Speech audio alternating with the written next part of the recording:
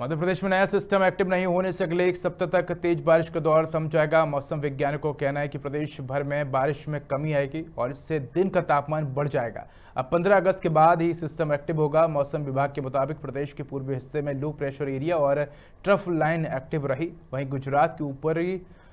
चक्रवाती घेरा भी रहा इस